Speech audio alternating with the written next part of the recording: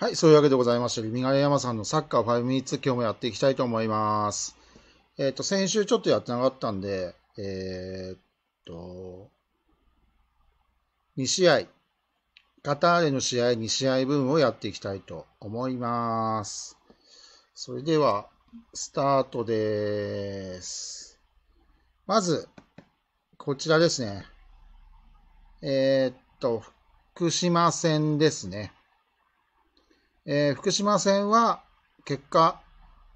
1対1という引き分けになって、えーカターレは勝ち点1を得たという結果になりました。えーかなり夕方からの試合だったんですが、かなり暑い状況で、えー暑さもまだ残った感じだったので、かなり厳しい試合になるなとは思っていました。で、やっぱりカターレが狙うところはセットプレーで1点を取って先行逃げ切りという形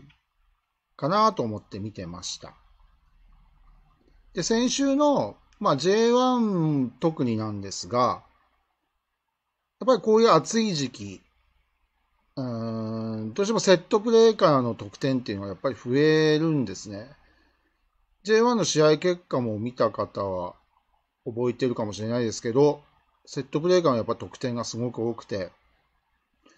まあ、この J3 も、その暑さ的なもので、やっぱ消耗度が、選手の消耗度がかなりあると思うんで、やっぱセットプレーが勝負を決めるのかなと思って見てました。で、福島もかなりそのセットプレーからの得点を狙ってたのがすごい見えましたし、まあ結果追いつかれましたが、うん、この暑さ、アウェー、で、福島はずっと勝ち点がないっていう状況で、試合臨んでたんで、しかもホーム戦なんで、勝利っていうものはかなり欲しかったっていうのが分かりましたんで、まあ、1対1、まあ、後半ですね、えー福島の樋口くんのゴールが、ほぼあれは入ってたんですが、えーこのボスに当たって入らなかったんで、もしかすると敗戦だった可能性もある試合だったんじゃないかなと思いました。はい。で、まあ、アウェーとか暑さとか考えると、まあ、1対1で切り抜けたのは、その方の連勝は続いてて、もちろん連勝は続いてほしかったですけど、選手などのその、プレッシャー的なもの、連勝っていうものが頭にあると、なかなか動かなかったり、体が、になると困るので、ここでの引き分けは、いいふうに捉えてですけど、まあ、勝ち点1で得て、乗り切ったのは良かったんではないでしょうかと思いたいです。はい。で、今日の、えー、松本山賀戦ですが、こんな感じでした。えーと、これもまあ自分的にはやっぱりセットプレーをを取ったも、取ったチームが勝利に近づくし、試合を有利に動かしていくんじゃないかなと思って見てました。で、山賀もどちらかというと、まあこれも配信とかでも言わせてもらったことあるんですけど、スカパーの番組でやっぱり七海監督が、まあ、昨年 J2 で戦った途中から J2 で戦ったんですが、その守りに入らず攻めの姿勢でいって、まあ、結果こうなったと。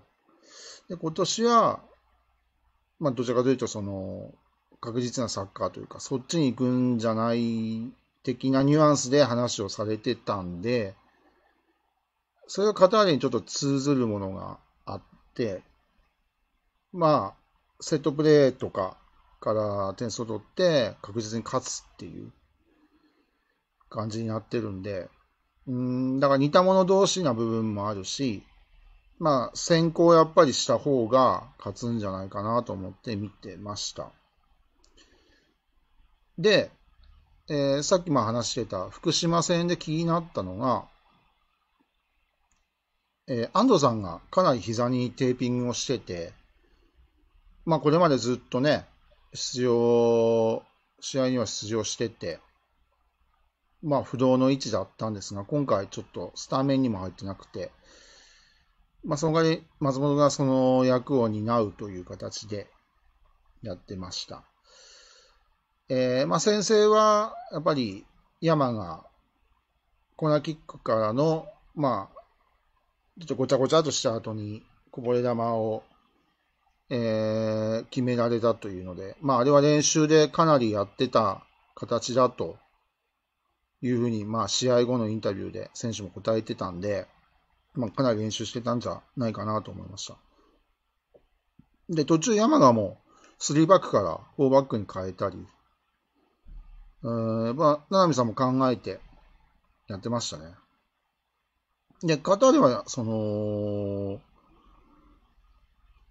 アルドゥ・シルバが、とか、川西さんとかが、やっぱり山が相手だとやりやすいのかなと。その、なんていうんですかね。例えば、いわきとかだったら、その JS にステップアップしてきて、まだ JS3 に染まってないというか、やっぱり未知の部分があったりするんですけど、やっぱり山は J1 にも行った実績があるし、その J リーグのチームとしての土台があるので、そういう部分ではやりやすい部分もあったのかなと。まあ、アルドシルバーも結構ね、前半活躍してたので、うん、やりやすかったのかな。あと、今瀬さんの守備が良かったですね。一つ気持ちいいあのインターセプトあって、点数にも結びつくような感じだったので、今瀬さんもやりやすかったのかなと思いますね。まあ、それで後半がね、カターレが、えー、っと、点数を1点取る形で追いかけたんですけど、なかなか山川のブロックが硬かったですね。あれを破るのがなかなか、やっぱり途中でね、またちゃんと演技系選手を入れて、まあ、個の力で、まあ、そこをね、打破するというか、そういう形だったかもしれないですけど、まあ、あの形を破るのはなかなか大変だなと思って見てました。まあ、結果、1対0で負けたんですが、やっぱりこの敗戦は痛いですね。前半というくくりで見たときなんですが、まあ、後々これがどうなるかわかりませんが、まあ、山はこれを制したので、えー、まあ、暫定ですけど、ね、上の方に行ってますんで、うーん、まあ、できれば引き分けでもよかったけど、まあ、難しいですね。やっぱり姫野さんの存在大きいなと。別に松本君が悪いわけではないですけど、あ、姫さん、あ、安藤さんですね。すみません。安藤さんのやっぱり存在大きいなと。松本が悪いとかじゃないんですけどね。うん。まあ、えー、っと、まあ来週金曜日、ホームに戻るんで、まあ、ホームでは勝ち点3をぜひ奪ってほしいなと思います。集客も伸びてほしいな。ただね、その、生ビール半額とかやってるんですけど、あの時間帯に車をで帰らない方法として、喧騒に行くとはなかなかお仕事帰りの方も難しいんじゃないかなとは思ってます。はい。まあ、そこら辺もちょっと、うん、あの日じゃなくてもって思っちゃうんですけど、皆さんどうでしょうか？はい。あと、高川圭さんもいいと思うんですけど、世代が絞られるゲストだなとは思います。